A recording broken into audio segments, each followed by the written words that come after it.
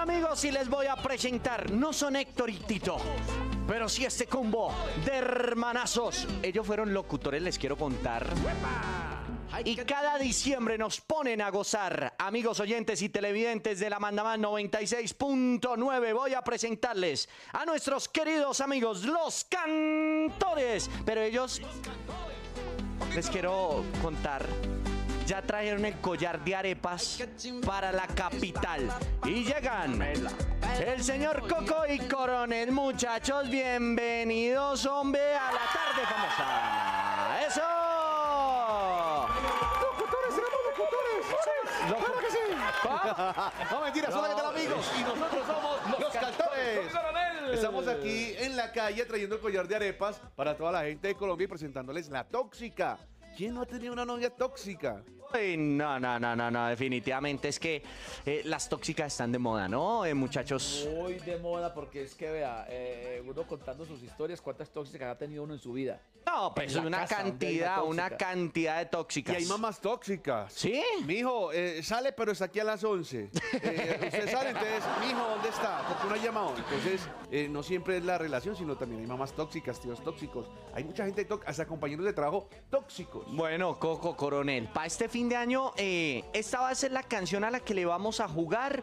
¿O viene otra canción por ahí como, como ya nos tienen acostumbrados y sobre todo a su gente allá en Antioquia? Y vamos a hacer un mixer, un remix con Justin Bieber de te quiere cariño, pero no nos contesta, entonces nos vamos con esta. nos, vamos, nos vamos con esta canción ya as- as- hasta, fin de año. Eh, eh, eh, es mitad original y mitad parodia. Una canción que escribimos Mitad al. inédita. Sí, la mitad es inédita y la otra parodia. Y esta canción la escribimos junto a, a Juan Pablo, a Juan Pablo que, Ah, es de la casa. libretista. Sí, el el que... libretista. sí, sí, sí. Y, y escribimos La Tóxica y es la parodia de, Pepas, de, Farruco. Y espero que, la disfruten, la pidan aquí en la calle, la escuchen en radio y la vean en el canal eh, La Calle. Ah, qué bueno eso. Bueno, muchachos, eh, siempre he tenido la duda, ¿cómo hacen para llegar a la creación? Eh, pues sabemos que ustedes comenzaron haciendo estas parodias en radio y que se convirtieron muy exitosas allá en Medellín. Pero eh, ustedes tienen, eh, por ejemplo, ya, ya, no para esta ocasión que pues, el que libreteó fue Juan Pablo, pero ustedes cómo hacen para sacar las letras de- del tema, o sea, vivencias suyas, de los amigos, para que pegue.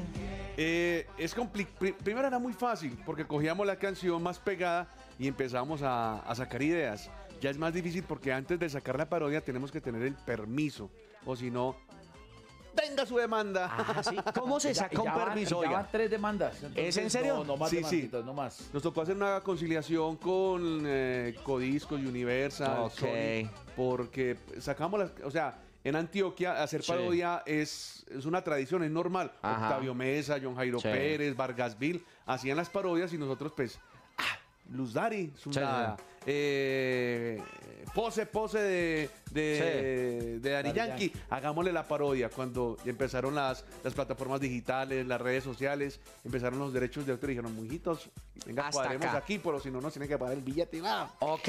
Pero es- primero es tener, tener el permiso del autor. Ok. Y después empezamos a, a escribir con la tóxica, empezamos a, a escribir, inclusive teníamos eh, una canción hecha como de, de parrandear, de fiesta de diciembre. Cuando llega Juan Pablo nos dice, "Eh, muchachos, cambiémoslo a la tóxica, que no ha tenido una novia tóxica. Y entre todos empezamos a, a- a escribir cosas eh, cómicas y se las metemos a la canción. Ah, qué bueno eso. Muchachos, para este fin de año, ¿qué tienen ustedes ahí en plan? Van a estar eh, en. Ya me imagino que comenzaron todo el tema de fin de año, todo ese cóctel de, de- No, de pues, empresarios, hombre. Johncito, gracias a Dios, hermano, ya esto se, esto se reactivó porque eh, un año y medio sin hacer nada de vacaciones en la casa ya fueron como larguitas.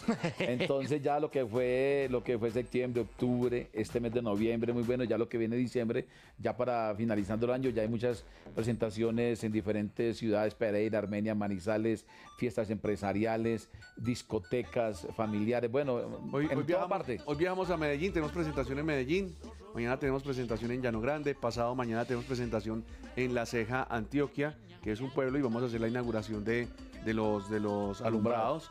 El 30 de diciembre tenemos presentación en discoteca, dándole la bienvenida en Medellín. Es muy tradicional recibir la, la- Navidad con la alborada.